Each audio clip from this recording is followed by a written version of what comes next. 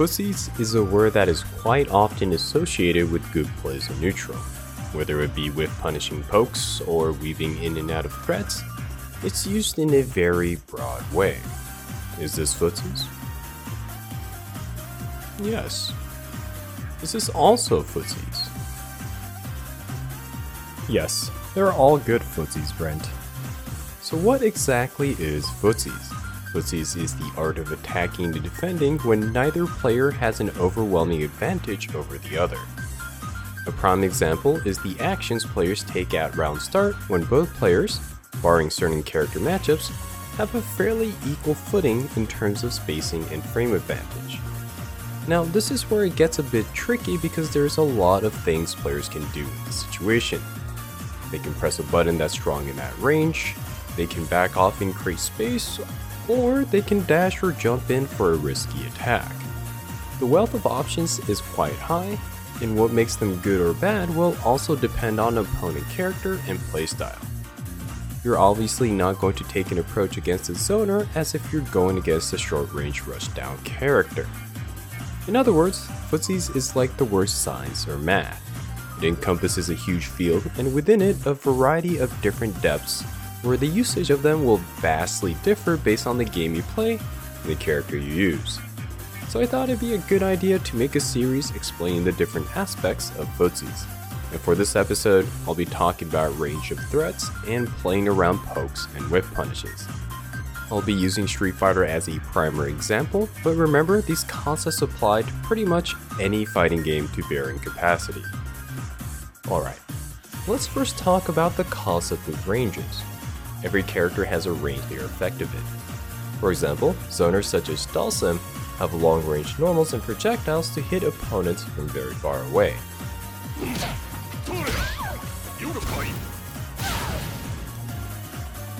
In characters such as Cammy, an aggressive rushdown character, doesn't have much it can do at far ranges, but have incredibly strong close-up options.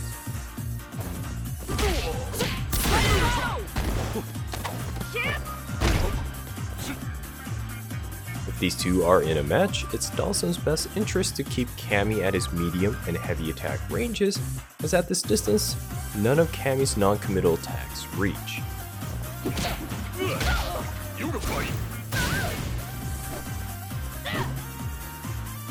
Cammy, on the other hand, wants to get in and stay in as she has far stronger damage potential up close.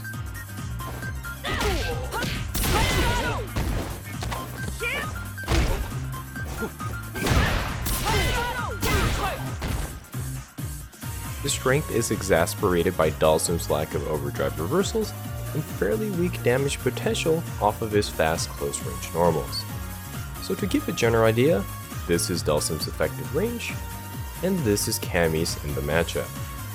It's very important for each player to try to keep their effective distance and create strategies to maintain these positions. I did two in-depth videos using Street Fighter V and Under Night In-Birth regarding this topic, so I suggest checking those out for more detail. You can think them like the prequel to the series. With that explained, let's now look at a less extreme matchup, Chun-Li versus Marisa. For this section, we're going to focus on a specific range and set of interactions for the sake of brevity. Remember, this is a concept video and not a character matchup guide, so please understand if I omit some situations and conditions. Anyways, what we'll be focusing on will be mid-range interaction. This is the distance where both characters have tools to convert non-committal moves into combos. Starting off with Marisa, we have standing and crouching medium punch.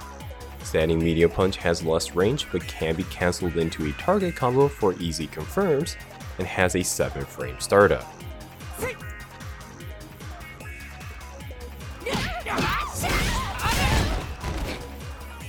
Crouching medium punch is also cancelable but is a frame slower at 8.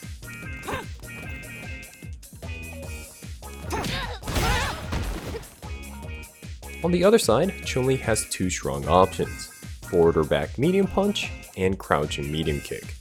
Both have a seven-frame startup and is castable into special moves.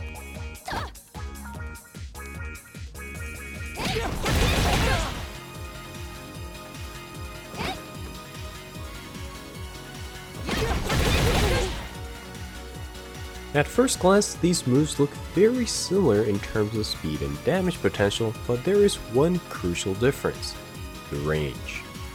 Chun-Li's forward medium punch outranges Marisa's standing medium punch,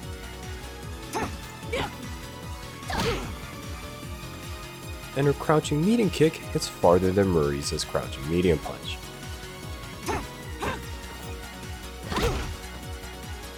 This difference makes it difficult for Marisa to fight toe-to-toe -to -toe as Chun-Li's effective mid-range is slightly longer than hers. So what can she do to combat Chun-Li's normals, especially her long crouching medium kick? One common tactic is to walk back out of Chun-Li's attack range and bait an attack. By doing this, you can visually confirm the attack missing and do a counterattack on the opponent's recovery. We call this whiff punishing. Here, you can see Marisa whiff punish Chun-Li's medium kick with a crouching medium punch. But wait, didn't I say Chun-Li's crouching medium kick outranges Marisa's crouching medium punch? Yes. But the important thing here is that most attacks in fighting games have extended hurt boxes when they come out. If we slow down the video, you can see an extra hurt box stay out after the hitbox goes away.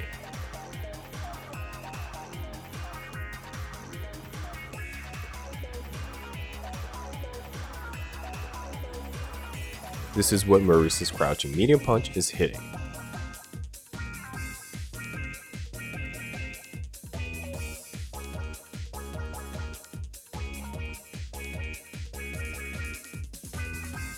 As a side note, it might be better to use a longer range move for a whiff punish.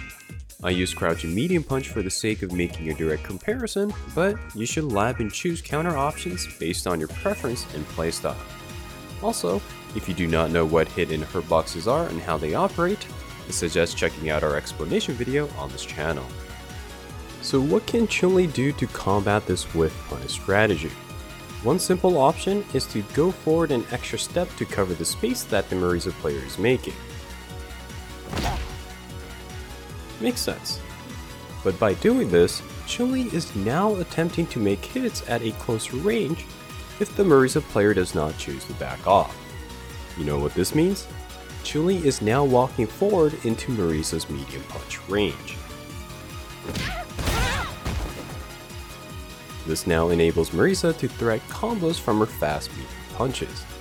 And if the Chun-Li player recognizes what the Marisa player is doing to get their medium punch pressure, they can simply stop taking the extra step forward to continue bullying Marisa at Chun-Li's effective range.